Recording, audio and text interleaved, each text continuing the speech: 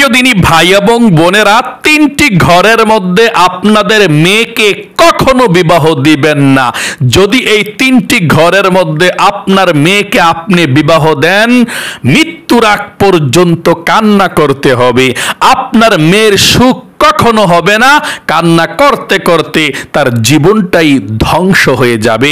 এবং ভাই এবং বোনেরা, আপনাদের মেয়ে হোক, ছেলে হোক, নায়নাতকুর হোক, কাউকে এই তিনটি ঘরের মধ্যে বিবাহ দিবেন না, বিবাহ করাইবেন না, আত্মীয় স্বজন করবেন না।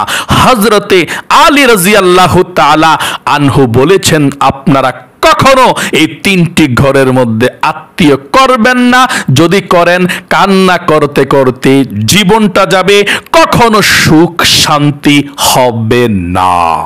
প্রিয় দিনী ভাই এবং বোনেরা, সাবধান।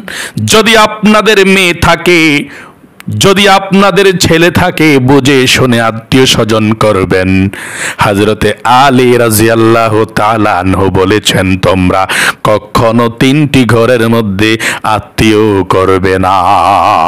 আত্মীয় স্বজন করলে দেখে শুনে সুন্দর পরিবার দেখে করতে হয়। শুধুমাত্র টাকা পয়সা দেখলেন আর আত্মীয় করে ফেললেন। শুধুমাত্র সৌন্দর্য দেখলেন, আত্মীয় করে ফেললেন। এটা কোনো বুদ্ধিমানের কাজ নয়। আপনার চেষ্টা করতে হবে ভালো জায়গাতে যাতে ভালো হয়। বিশেষ করে এ তিনটি দোষ যদি সেই ঘরের মানুষের মধ্যে থাকে, ঘরের মধ্যে থাকে, কখনো আপনি আত্মীয় করবেন না। প্রিয় দিনী ভাই এবং বোনেরা একবার হজরতে আলী রাজি আল্লাহ তালানহুর কাছে একজন ব্যক্তি চলে গেলেন, আমিরুল মিনিন হজরতে আলী রাজি আল্লাহ তালানহ সিংহাসনের মধ্যে বসে আছেন। সেই ব্যক্তি বলল, ও আলী, আমিরুল মিনিন আপনার কাছে আমি একটা পরামর্শ চাই। আমার কলেজের টুকরা একটি মেয়ে আছে। মেয়েটা আমার অনেক বেশি আদরের মেয়ে। আমার মেয়েটার দিকে না তাকালে আমার সকাল যেন হয় না। রাত যেন কাটে না। আমার মেয়েকে আমি অনেক বেশি ভালোবাসি। ও আলী মেয়ে যেহেতু হয়েছে। বিবাহ তো অবশ্যই দিতে হবে। আল্লাহ রাব্বুল আলামিনের বিধান তবে কোন জায়গায়, কোন বাড়িতে কেমন ছেলের কাছে আমার মেয়েকে বিবাহ দেব আপনার কাছ থেকে পরামর্শ চাই। আপনার কাছ থেকে পরামর্শ চাই। ও আলী কেমন আত্মীয় স্বজন, কেমন মানুষ হতে হবে? আমার মেয়েকে যদি আমি বিবাহ দেই, যাতে সুখী হয় মেয়েটা। যাতে কষ্টে না থাকে আমাকে আপনি একটু পরামর্শ দিন। হজরতে আলী রাজি আল্লাহ তালানহু বললেন, ও আল্লাহর বান্দা, আপনি পরামর্শের জন্য এসেছেন। আমি আপনাকে বলব তিনটি ঘরের মধ্যে কখনো আপনার মেয়েকে বিবাহ দিবেন না। এই তিনটি ঘর ছাড়া যেই কোনো ঘরের মধ্যে আপনার মেয়েকে আপনি বিবাহ দিতে পারেন। তিনটি ঘরের মধ্যে এক নাম্বার ঘর হলো যেই ঘরের সব কাজের সিদ্ধান্ত ঘরের মহিলারা নিয়ে থাকে। সব কাজের সিদ্ধান্ত ঘরের মহিলারা নিয়ে থাকে। মানে মহিলারা কর্তৃত্ব করে ঘরের মধ্যে। সব কাজ মহিলারা করে এবং সব কাজের সিদ্ধান্ত মহিলারাই নিয়ে থাকে। একটা কথা আছে, মেয়ের মা যদি বেশি চালাক হয় মহিলারা, সে মেয়ে স্বামীর বাদ খেতে পারে না। এবং ছেলের মা যদি বেশি চালাক হয়, তাহলে ওই ছেলের মা হোক, মেয়ের মা হোক, মোট কথা ঘরের মধ্যে যেই কোনো গার্জিয়ান যদি মেয়েরা বেশি গার্জিয়ানগিরি দেখায়, করে পুরুষরা, তারা পাত্তই দেয় না, মেয়েরাই সব কাজের সিদ্ধান্ত নিয়ে নেয়। এই ঘরের মধ্যে কোনো আপনার মেয়েকে বিবাহ আপনি দিবেন না এবং কোনো আত্মীয় এদের সঙ্গে আপনারা করবেন না। এটা সুখ হয় না। মেয়েরা থাকবে মেয়েদের মতো, মেয়েরা সব কাজের সিদ্ধান্ত নিলে বিপদের মধ্যে পড়ে যায়। হাজরতে আলী রাজি আল্লাহ তালানহু বললেন ও আল্লাহর বান্দা, এক নাম্বার সিদ্ধান্ত, যেই ঘরের মধ্যে সব কাজের সিদ্ধান্ত, শুধু মেয়েরাই নেই সব কাজ শুধু মেয়েরাই করে থাকে, ছেলেদের কোনো পাত্তাও দেয় না, পুরুষের কোনো পাত্তা দেয় না। সেই ঘরের মধ্যে আপনার মেয়েকে আপনি কখনো বিবাহ দিবেন না। এক নাম্বারে। দুই নাম্বারে আমি বলব, ও ভাই এবং বোনেরা, যাদের মেয়ে আছে, নায়নাত করাছে শোনন শোনন, এই মহাবাণীগুলো আপনার জীবনে অনেক বেশি শান্তি আসবে। আপনার ছেলে এবং মেয়েদের জীবনটাও সুন্দর হয়ে যাবে, এই কথাগুলো শুনলে। দুই নাম্বারে হজরতে আলী রাজি আল্লাহ তালানহু বললেন যেই ঘরের মধ্যে সব কাজের সিদ্ধান্ত শুধু পুরুষেরা নেয়, মেয়েদের কোনো দাম দেয় না।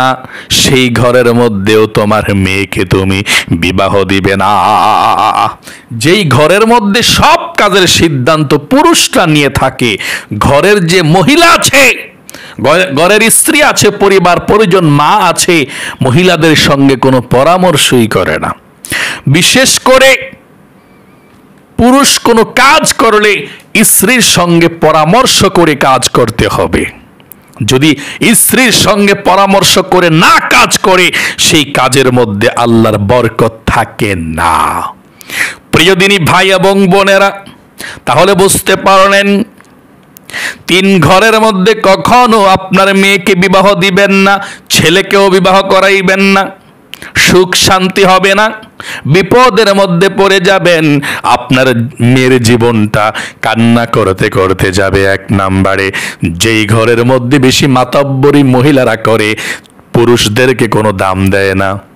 দুই নাম্বারে, যেই ঘরের মাতব্বরী শুধু পুরুষরা করে, মহিলাদের সঙ্গে পরামর্শ করে না। অর্থাৎ পুরুষরা যেই কোনো কাজ করবে, মহিলাদের সঙ্গে, স্ত্রী পরিবার পরিজনদের সঙ্গে পরামর্শ করে করতে হবে। আবার স্ত্রীরা যেই কোনো কাজ করবে, পুরুষের সঙ্গে পরামর্শ করতে হবে। তাহলে সেই কাজের মধ্যে, সেই ঘরের মধ্যে আল্লাহ রাব্বুল আলামিনের রহমত নাজিল হয়।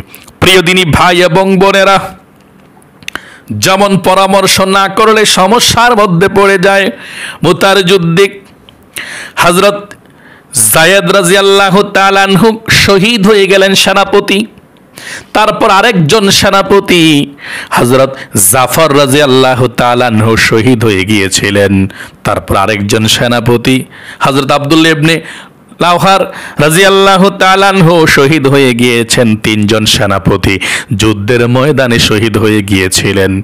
তারপরে পরামর্শ করলেন নবী করিম সাল্লা সাল্লাম বললেন, পরামর্শ করো তোমরা। তারপর যুদ্ধ চলাকালীন অবস্থায় পরামর্শ করলেন এবং আমির হিসাবে, সেনাপতি হিসাবে হজরত খালিদ বিন ওয়ালিদ রাজিয়াল্লাহ তালানহুকে সিলেক্ট করলেন। তারপরে মুসলমানরা সাহাবাই কেরামরা সে যুদ্ধের মধ্যে জয়ী হয়েছেন।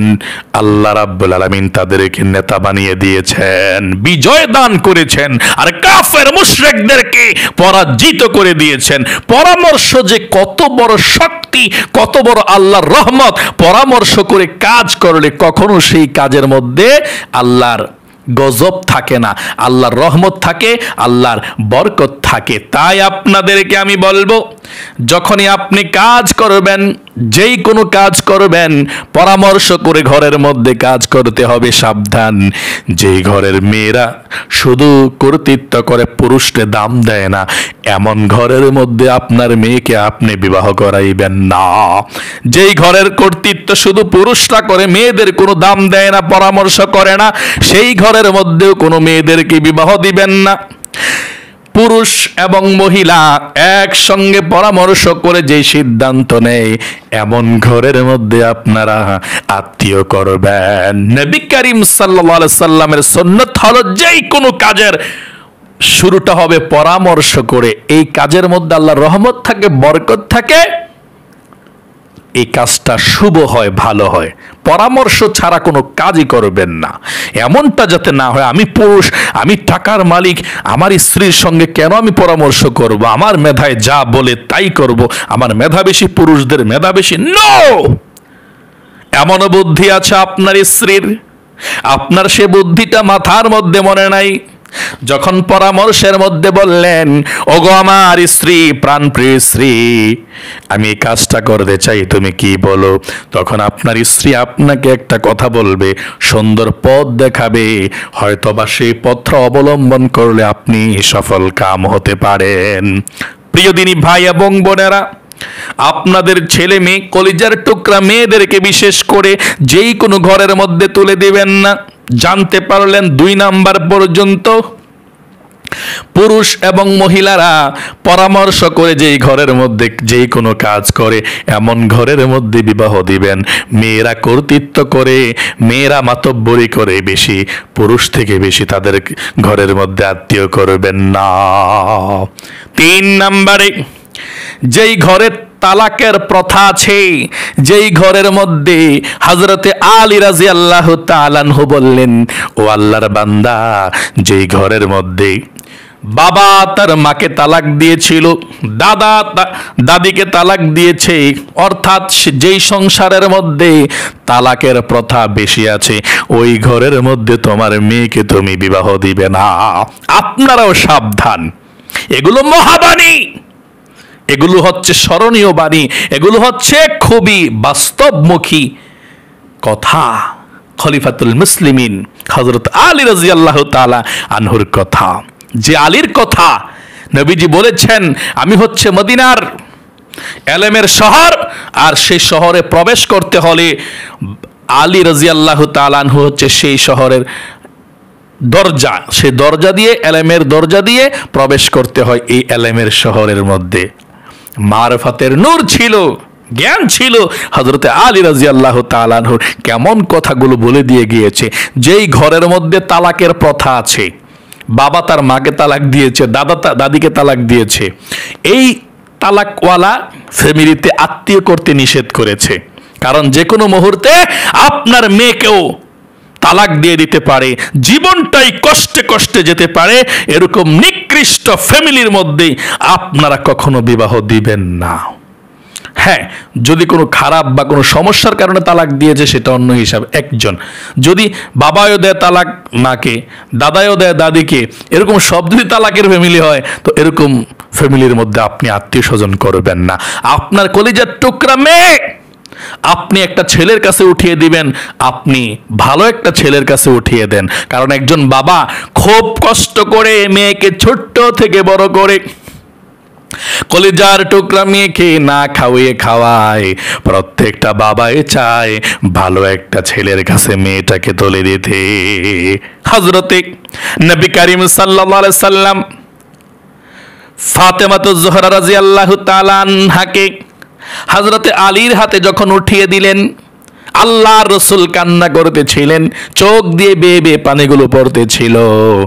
ফাতেমা বলল, ও আব্বা যান আপনি কান্না করেছেন কেন? চোখ দিয়ে পানি আসছে কেন? আমাকে তো দূরে কোথাও বিয়ে দিচ্ছে না, আমি তো কাছে আছি। নবী করিম সাল্লাম বললেন, ও ফাতেমা প্রতিদিন সকালবেলা ঘুম থেকে উঠে যখন আমি তোমার চেহারার দিকে তাকাই, আমার কলেজা ঠান্ডা হয়ে যায়। তুমি আমার কলেজা, তুমি আমার দেহের অংশ, আমার কলেজার টুকরামি প্রতিদিন বিকাল বেলা যখন তোমার দিকে তাকাই, আমার অনেক বেশি ভালো লাগে। তুমি আমার কলেজার টুকরা, আমার শরীরের অংশ, আমার মেয়ে। এখন তো যতই কাছে থাকো সকালবেলা ঘুম থেকে উঠে আমি আমার কলেজার টুকরা মেয়ের দিকে তাকাতে পারব না। আমি আবার রাতের বেলা ঘুমানোর পূর্বে আমার মেয়ের দিকে তাকিয়ে আমি ঘুমাতে পারব না। যতই কাছে হয়, তুমি অন্যের ঘরের মধ্যে চলে যাচ্ছ। প্রিয় দিদি ভাই এবং বোনেরা, তাই ভালো ছেলের কাছে আপনার মেয়েটাকে তুলে দিবেন। ভালো ফ্যামিলি নামাজ রোজাওয়ালা করে নেওয়ালা ছেলে এবং দিনদার ফরহেজগার। হোক গরিব টাকা পয়সা কম থাকুক সমান সম্মান খুব ভালো ফ্যামিলি এটাই। তাহলে জানতে পারলেন হজরতে আলী রাজি আল্লাহ তালানহু বলেছেন, ও আল্লাহর বান্দা, তিনটা ঘরের মধ্যে কখনো তোমার মেয়েকে বিবাহ দিবে না। আমি সর্বশেষ আবারও বলে দিচ্ছি সংক্ষিপ্তভাবে। এক নাম্বারে, যে ঘরের সব কাজের সিদ্ধান্ত মেয়েরা নিয়ে থাকে, অর্থাৎ মেয়েরা পুরুষ থেকেও বেশি মাতব্বরি করে। এমন ঘরের মধ্যে মেয়েদেরকে বিবাহ দিবে না, মেয়েদের সুখ হয় না। জ্বালিয়ে পুড়িয়ে ছাড়খাড় করে দেয় মেয়েদের জীবন এরকম ফ্যামিলির মধ্যে। পুরুষের কোনো দাম থাকে না, সেই ঘরে মেয়েরাই সব কাজ করে ফেলে। দুই নাম্বারে, যেই ঘরের মধ্যে পুরুষরা সব কাজ করে ফেলে, মেয়েদের সঙ্গে, স্ত্রী, পরিবার, পরিজনদের সঙ্গে কোনো পরামর্শ করে না। এমন ঘরের মধ্যে আত্মীয় করবেন না। কারণ পরামর্শকারে কাজ করলে রহমত আসে, যেই ঘরের মধ্যে নারী কোনো কাজ করলে পুরুষের সঙ্গে পরামর্শ করবে, পুরুষ কোনো কাজ করলে নারীর সঙ্গে পরামর্শ করবে। এমন ঘরের মধ্যে আপনারা বিবাহ দিবেন।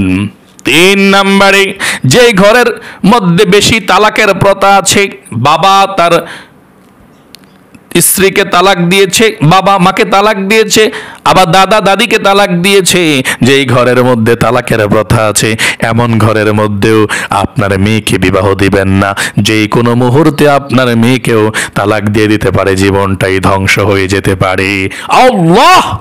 আপনাদের যাদের মেয়ে আছে, নায়নাতকুর আছে, ছেলে আছে, ভালো জায়গায় আত্মীয় স্বজনগুলো করার তৌফিক দেখ এবং দিনদার ফরহেজগার নামাজি ভালো উচ্চ বংশের মধ্যে আল্লাহ আপনাদের আত্মীয় স্বজনদেরকে বিবাহ দেওয়ার তৌফিক দান করুক, সুখে রাখুক, শান্তিতে রাখুক, তাদের জীবনকে আল্লাহ সুন্দর করে দেখ সকলে কমেন্ট বক্সের মধ্যে লিখবেন আমিন এবং ভিডিওতে একটি লাইক দিবেন। যারা কমেন্ট বক্সের মধ্যে আমিন লিখেছেন, ভিডিওতে একটি লাইক দিয়েছেন, আল্লাহর কাছে বলব আল্লাহ। তোমার বান্দাবান্দিরা, ছেলে অথবা মেয়ে অথবা নায়নাতকুর সকলকে যাতে ভালো জায়গায় বিবাহ দিতে পারে, বিবাহ করাতে পারে আল্লাহ, তাদেরকে তুমি সুখে রাইখো। এই দুইটা হাত মাক্কা মদিনায় স্পর্শ করেছি, হাতগুলো উঠিয়ে বলছে, আল্লাহ, তুমি কবুল করো, মঞ্জুর করো। আমিন। আজ পর্যন্তই। আবারও অন্য কোনো ভিডিওতে দেখা হবে। সেই পর্যন্ত আপনাদের সকলের সুস্বাস্থ্য, আল্লাহর কাছে কামনা করে আজ এখানে বিদায় নিচ্ছি। ও হ্যাঁ। এখনও পর্যন্ত যারা আমাদের এই সরল পথে ইউটিউব চ্যানেলকে সাবস্ক্রাইব করেননি, এক্ষুনি সাবস্ক্রাইব করতে হবে। এই ভিডিওর নিচে লেখা আছে, সাবস্ক্রাইব বাটনটা ডান পাশে। চাপ দেন, সাবস্ক্রাইব হয়ে যাবে। তারপর একটা বেল আসবে, আবার চাপ দেন, নোটিফিকেশন প্রোগ্রাম আসবে, অলের মধ্যে চাপ দেন, বেলটা বেজে যাবে। দেখা যাবে বেজে আছে, তখন সব ভিডিওগুলো আপনাদের কাছে অটোমেটিক চলে যাবে, আমরা আপলোড করলেই। আর যারা সাবস্ক্রাইব করে রেখেছেন, আপনারা লাইক দিবেন এবং কমেন্টস করবেন। আসসালামু আলাইকুম আ রহমতুল্লাহি অবরকাত